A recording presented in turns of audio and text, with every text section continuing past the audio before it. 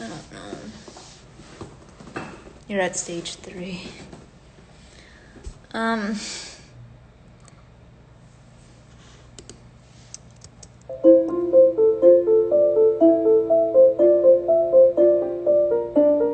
I just can't, you know.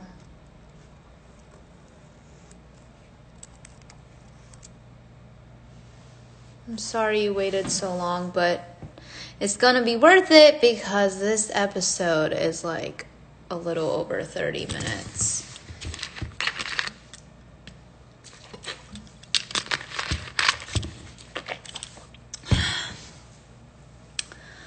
I'm just kind of nervous. I'm nervous because I don't know, like I just I think that I'm it's hard to release something like that because then I, I was like thinking about it i was like man everyone's gonna oh here's here's talking about my appearance I lost interest in my appearance for two reasons.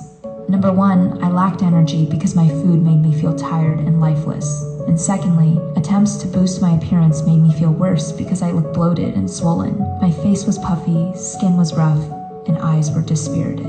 It literally hurt to face myself in the mirror. When I was forced to go out, I painted over the pain, which made me feel even more unpleasant.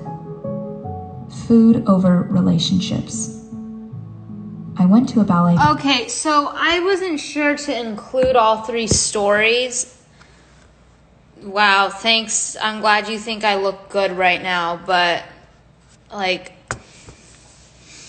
i don't know I think. Sorry. I need to be tough.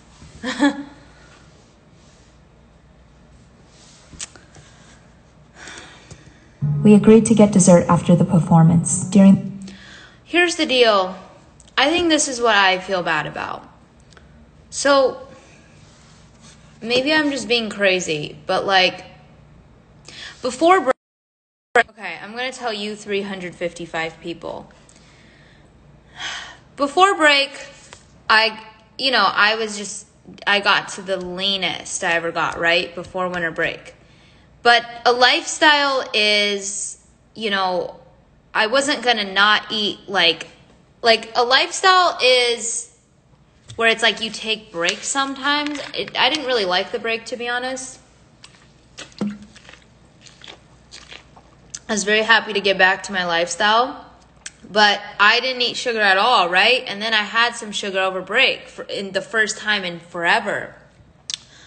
And I didn't even have a good reaction to it. I didn't feel good afterwards. But the point is, I felt like my face was extremely lean. And then after break is when I filmed me sitting on that couch talking and telling the story. And I feel self conscious about my face for some reason because I was like, great, like, you know, you're obviously, your, your face isn't going to look as lean and sharp if you went from not eating sugar and then you had some over break.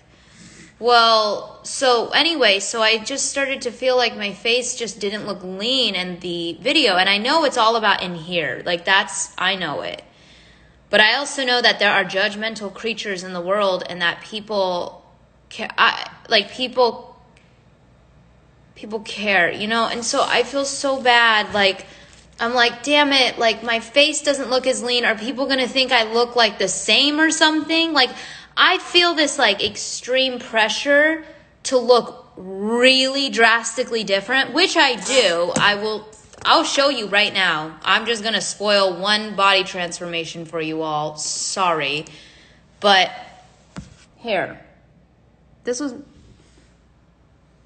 Okay, clearly really different. I mean, I worked really hard to get here. And then hold on. Okay, here. One, two you can see my face. Oh, my, this was my face a little bit before break. For some reason, I, I'm sorry to like let you, put this on you guys, but like I feel like self conscious about my face right now.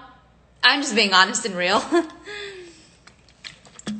the reason I feel self conscious is because I am showing you my traumatic past.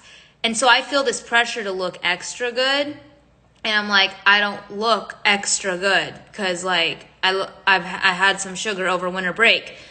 But, like, I can't, I wasn't, like, I don't want to feel like I can't do something for, does that make sense?